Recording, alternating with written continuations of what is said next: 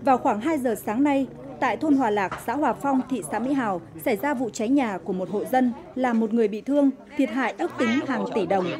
Cụ thể vào khoảng 2 giờ sáng ngày 29 tháng 3, người dân phát hiện đám cháy tại tầng 1 của gia đình ông Bùi Văn Tạo tại thôn Hòa Lạc, xã Hòa Phong, thị xã Mỹ Hào. Đây là nơi kinh doanh hàng tạp hóa với nhiều đồ vật dễ cháy. Ngọn lửa nhanh chóng bùng mạnh và lan lên tầng 2, tầng 3 của căn nhà. Ngay sau khi đám cháy xảy ra, lực lượng công an phòng cháy chữa cháy cứu hộ cứu nạn của thị xã Mỹ Hào có mặt cùng nhân dân tiến hành khoanh vùng dập lửa.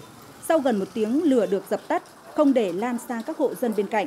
Vụ cháy làm một người con trai của chủ nhà bị thương, hiện đang điều trị tại bệnh viện. Toàn bộ tài sản trong nhà đã bị lửa thiêu rụi, thiệt hại ước tính trên 2 tỷ đồng. Nguyên nhân vụ cháy đang được công an thị xã Mỹ Hào điều tra làm rõ.